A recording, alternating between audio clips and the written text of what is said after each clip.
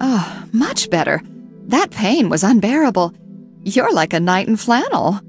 Um, thanks. Now I'd like to talk about your former patient, Count Orlok.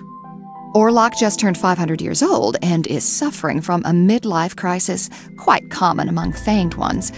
But who cares about Orlok? Let's talk about you. And me. The thing is, his daughter is my bride. Your bride? Yes, but Orlok is against. I see. He won't listen to reason. Oh my.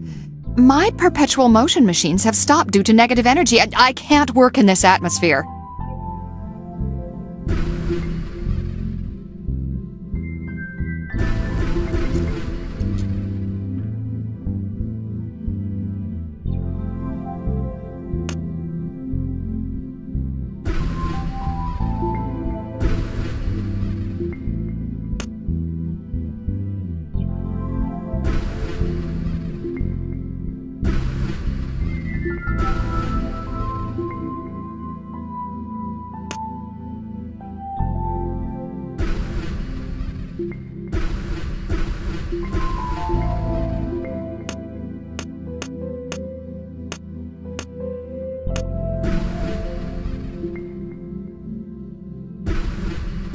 Now,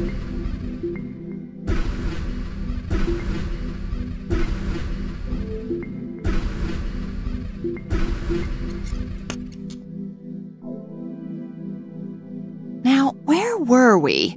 I need an action plan before I approach Orlok again. I must confess, I missed the lectures on vampire psychology. You're my only hope. Oh, what a headache. Oh, leave me in peace. Oh, shoot. All my painkillers are mixed up on my table near the door.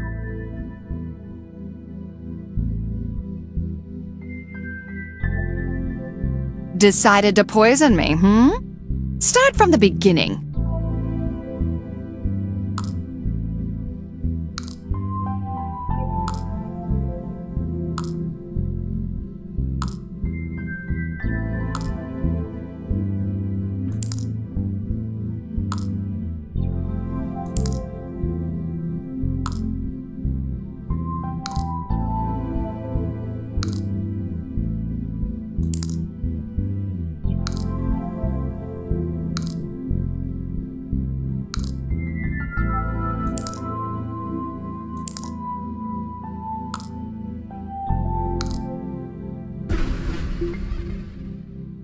Okay. I'll give you a piece of advice. The only person who can influence the Count is his wife. How can I find her? Where does she work? Where would a bloodsucker with a natural gift of persuasion work?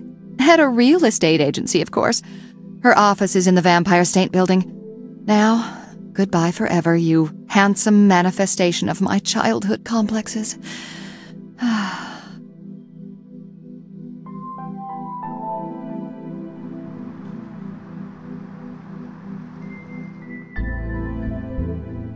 Hello, ma'am. Are you the wife of Count Orlok? For hundreds of years. I assume you're my daughter's self appointed groom. Pleasure to meet you, John. Nina and I love each other. Indeed, you do. The air in this room is rather stifling, wouldn't you say? The air conditioner needs to be repaired. We won't continue this conversation until it's done.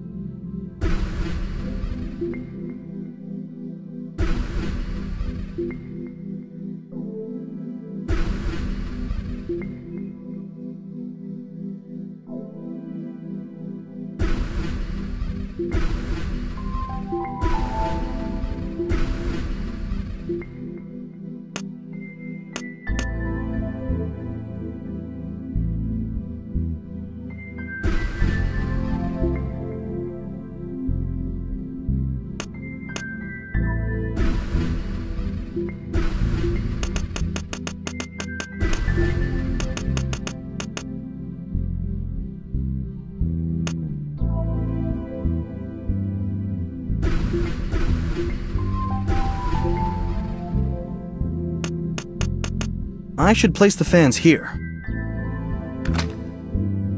It's useless here.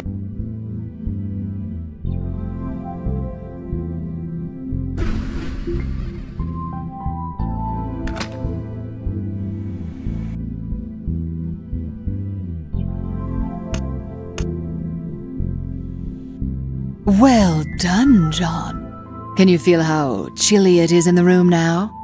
Yes, the air is much more appropriate for the conversation at hand. Do not try to rush matters that are centuries in the making. Now, my accountant is ill. I won't be able to finish this sale without the appropriate computer program.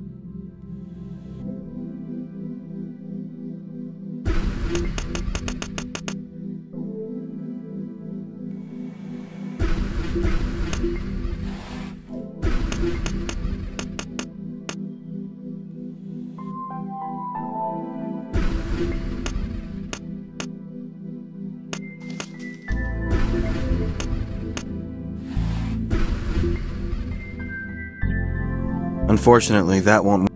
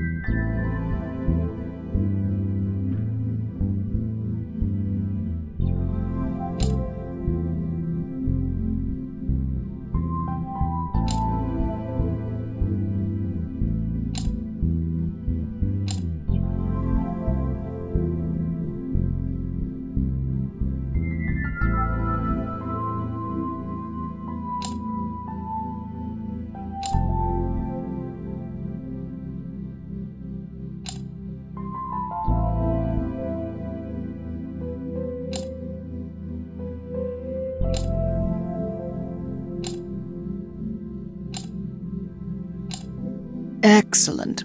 You'll make a great son-in-law. I see you in tails standing next to my daughter in a black veil. The wedding march is playing. No kidding. I do not kid, John. I'm going to make you a manager at my firm. But let's drink a cup of coffee first, shall we? Oh, we just need the coffee machine and some coffee and sugar.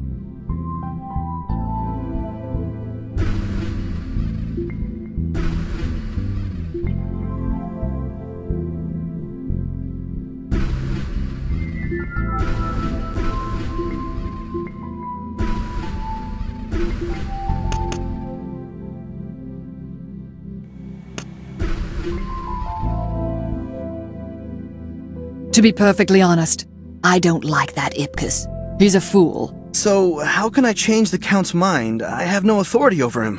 One of my husband's oldest dreams is to act in a film. He's crazy about Hollywood. Over a century ago, he even met the Lumiere brothers and bit one of them. I can't believe it. That brother changed his name, moved to Hollywood, and shot films. As for Orlok, he never got his big break. There's a film director named Lumiere at my hotel on Central Street. Maybe he could help us. Imagine, Count Orlok playing the main role. Excellent idea.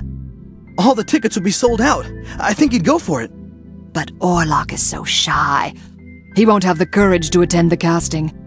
I suggest kidnapping Nina and waiting for him to find you at the station. Um, Nina is kept in the dungeon behind a bewitched door that only Orlok can unlock. And me. I'll give you a magic amulet. Just keep it with you. It will dampen Orlok's senses. He won't even know what happened. Find the seven magic seals to unlock the door. Thanks, Mom. I'm going to kidnap Nina back.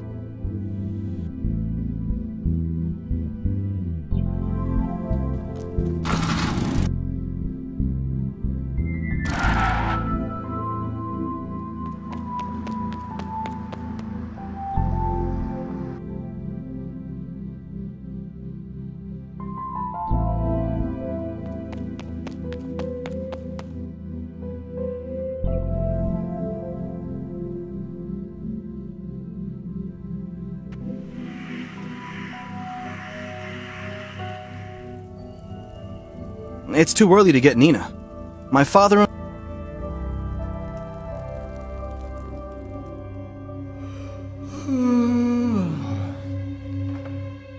Talk about dampening the senses. Count Orlok's passed out. Now I can easily steal my bride.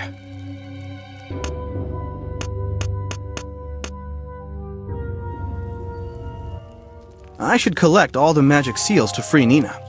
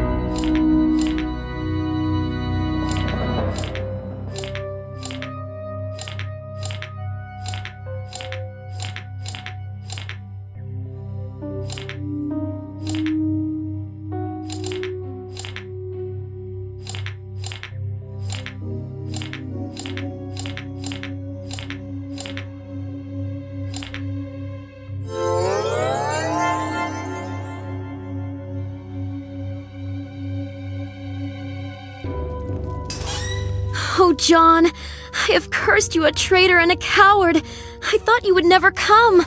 Say you'll forgive me, my love. Quick, let's get out of here. Mom is waiting for us at the TV studio. I'll explain everything later.